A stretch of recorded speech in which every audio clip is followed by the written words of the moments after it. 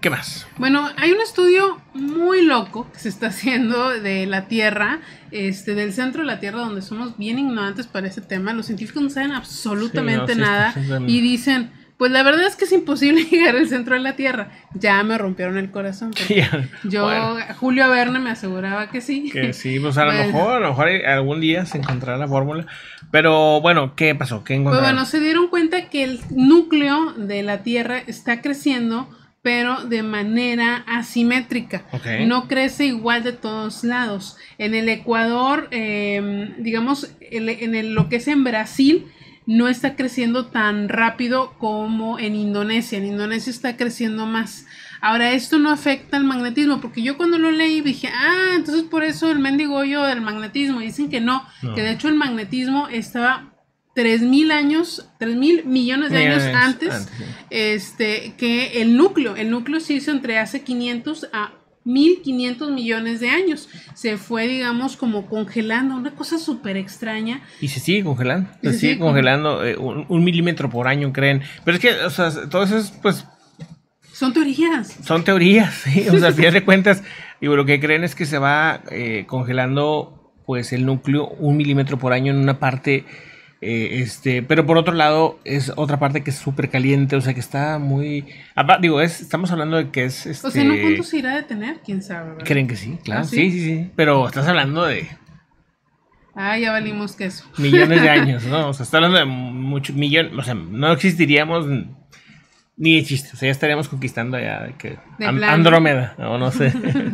Este, vamos a andar en otros en otros universos ya, no, ni siquiera vamos a ser de carne y hueso, vamos a ser de que energía, los, los humanos ya serán historia. Este, pero bueno, ¿qué más? Bueno, la cuestión es que este estudio se hizo en la Universidad de California en Berkeley eh, sobre el núcleo externo y el manto, como cómo, el- elimina el calor, este, sobre todo en el ritmo que les dijimos es mayor en Indonesia, en Brasil es muy bajo, no tiene nada que ver con el magnetismo, no afecta el magnetismo, pues bueno, no saben básicamente nada y dicen que lo único que pueden hacer es estudiar por computadora sus teorías, pero como no podemos ir al centro de la Tierra, pues eso seguirá siendo un misterio hasta el día de hoy. Tienen varias propuestas, tienen varias propuestas de, de- o sea, como de, de por dónde estudiar el tema, pero pues todo esto es un poco, pues, ciencia, especulación, Ciencia imaginación. ficción. Ciencia ficción. Ay, O sea, perdón, no, no. Se usa, usa Lo bueno cubrebocas. es que estás vacunado, Este, ¿sí, no? sí, si no te pego la, rabia. Y, Este, y lo que sí es que quieren saber si esto tiene algo que ver con las ondas sísmicas, que eso es lo interesante. Entonces, pues bueno, vamos a ver si se les ocurre algo. este, pues, bueno, eh, o, o sea que, ¿para qué sirve este estudio? Pues, Pues para- nada más para saber que estamos medio abollados. Bueno, pues. Que si tú te preocupabas porque tenías una boobie más grande y una más chica, pues la tienes Vámonos ya. Ahí me cortas, vato. Vámonos ya, otra cosa. No me Este, no, el no. tema, no. Oigan, ustedes y yo no vamos ni a Cancún, pero los tardigrados o los osos de, de agua ya están, en, ya están en el espacio. Los tardigrados y también unos, este, como calamares, ¿no? Que van a enviarlos al, al espacio. Sí se acordarán que estos tardigrados ya hace, hace un tiempo. ¿Por qué le cortaste? Ah, ah, no, no, no, no corté, no corté. Este, digo, sí le corté, pero no le corté. Este, los tardigrados son una, ¿qué- ¿cómo, es? como lo- ¿cómo le llaman? Como osos, ¿no? Les Osos. dicen osos de agua. De hecho, se volvieron muy sí. famosos por la película de Ant-Man. Es este, ¿no? Son Es este- esos. Están sí. bien bonitos, la verdad. Son feitos bonitos. Sí, son- Porque parecen ositos. Pero Imagínate la cara sí está bien día- creepy. ¿eh? Sí, un peluche de estos así. Ay, qué lindo. Son tardigrados. Ahí están, ¿no? Este, eh, bueno, estos son los tardigrados, digamos, eh, de- en la fotografía. Hay unos diseños muy bonitos que hacen de ellos y todos gorditos y bonitos. Pero esto es, la- esto es más realista, ¿no? Así son. Ay, no, mejor pon el otro, el horrorista. Que tiene como una eh, boca como en forma circular muy Así de extraña. pico, ¿no? Como de pico, sí, están súper están súper raros. Bueno, van a mandarlos al espacio a, a los tardigrados y a unos calamares, pero ¿para qué o qué? Van a mandar 5000 tardigrados y unos 128 bebés calamares que brillan en la oscuridad. ¿Para qué los tardigrados? Eh, esto salió el jueves, llega el sábado a la estación espacial. Son 3.300 kilos de suministro. Es obviamente equipo de investigación, Sí. comida. De hecho, hasta les mandan aguacates y manzanas a los, a los astronautas. Mira. Les doy la lista de mandado, mira. Si le mandan aguacate, pues yo, Mira, yo sí me les hago. mandan, les mandan eh, manzanas de gala, que son las rojitas, naranjas, na- nabel, tomates, cherry, cebollas, limones, mini pimientos y aguacates. Eso es lo que les están mandando. Además les mandan eh, nuevos paneles solares que son mucho más eficientes de los que hay ahorita para cambiar y bueno, varias cosas más, pero entre lo que más llama la atención obviamente están los tardigrados que son 5000, estuvieron contándolos en friega y Ujú. 128 bebés calamares. ¿Para qué? Pues bueno, por cierto, ¿creen que ya hay tardigrados? Los tardigrados son súper, súper, súper resistentes al agua, a la sequía, a la radiación, básicamente que son indestructibles Wow. los gatos. Y creen que posiblemente ya hay en la luna. ¿Por qué?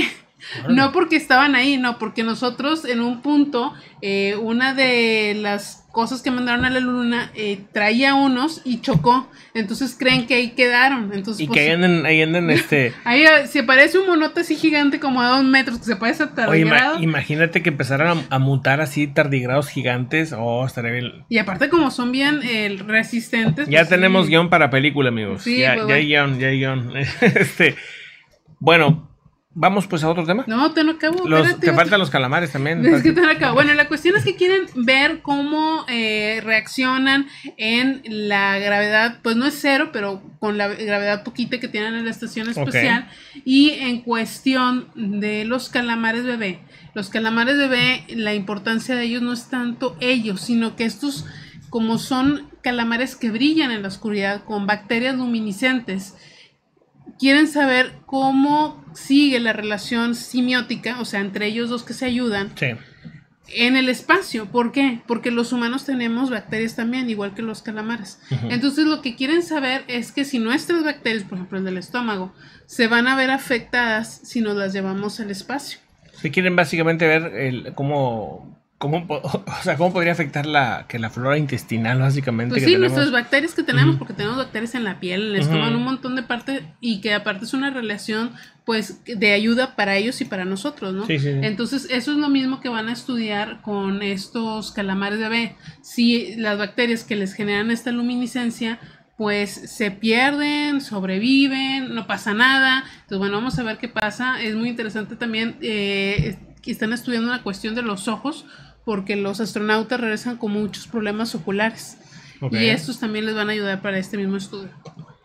Bueno, pues eh, vamos ahora a lo del asteroide, ¿no? Al, Sí, al sí, Ua- a ver. ¿Cómo se llama? Este, Oumuamua, ¿no? O- Oumuamua. El Oumuamua, porque, pues, bueno, se especuló, incluso todavía hay científicos que aseguran que esto realmente es una nave, que un resto de una nave muy antigua o algo así, pero se han hecho, pues, nuevos cálculos de este tema, de este, pues, este asteroide o lo que sea que, que es, calculan que podría tener muchísimo tiempo en el espacio, ¿no? De estar eh, navegando, ¿no? Sí, se cree más o menos que tendría 35 millones de años. Esa es la edad más o menos que, estiman. Eh, claro, aparte está bien padre, no se informa. Bueno, esa es la, el- más o menos como el- el- el- la supuesta forma, digamos, ¿no? Eh, si es que fuera una roca, ¿no? Si es que fuera como tipo rocoso, porque realmente pues nada más tienen la forma, tienen una estructura, un aproximado de la estructura. En algún punto se creyó que era un alien, ¿verdad? Digo, un ovni. No, se sigue creyendo sigue que creyendo. sí, sí, claro, claro. De hecho, el, el principal investigador de este tema, él, él sigue diciendo que es un, o un pedazo de un objeto antiguo, una especie como de nave ¿Por vela. la forma o por qué? No, porque pues tenía un comportamiento atípico que no es normal en un asteroide. O sea que pues cuando pasó por el Sol hizo cosas que no, no ha hecho otro fenómeno. Digo, hay teorías, ¿no? Pero tampoco pueden asegurarlo, pero eh, este, por ejemplo, aceleró, aceleró cuando pasó por el Sol. Ahora hay una teoría que dice que tal vez por algún tipo de gas que tenía ahí, o sea, está muy así, muy, Lo ajá, como que el gas hizo reacción porque pasó por el Sol, entonces como que, pues, aceleró, ¿no? En ese punto. Y pues, bueno, quién sabe, ¿no? La verdad es que quién sabe, o sea, Y luego ya se fue. ya. No pasó, lo sí, ya ver pasó y lo- jamás. jamás lo vamos a volver a ver. O sea, lo que hay de información, con eso están este, especulando una cosa u otra cosa. Pero bueno, ahora qué, qué dicen. Bueno, según este estudio, la Universidad de Yale tiene 35 millones de años. Lo estudiaron en base a la trayectoria con las órbitas de hasta 50.899 estrellas del tipo F vecinas del Sol. Y eh, también creen que tiene un pedazo que es como de hielo, de hidrógeno, hielo de hidrógeno a eso a lo que se refieren, eh, que posiblemente se produjo en un impacto que tuvo con el nitrógeno que está muy cerca de Plutón. Entonces, pues bueno, ahí está esto que dijo Pepe, pero bueno, ya tienen como una edad, obviamente el Oumuamua dice que es mucho más joven. Dice que tiene 10 mil. no, es que supuestamente tiene 35 millones de años, eso es lo que creen que, tendría, pero pues bueno, eh, em, al final pues vamos a quedarnos con la duda seguramente siempre. Misterios eh, sin resolver. Misterios sin resolver, como quiera, pues cuando salgan estos estudios aquí se los vamos trayendo y ya ustedes pues tendrán una mejor opinión. Vamos pues a, ahora sí a otro tema, ¿no? Mm.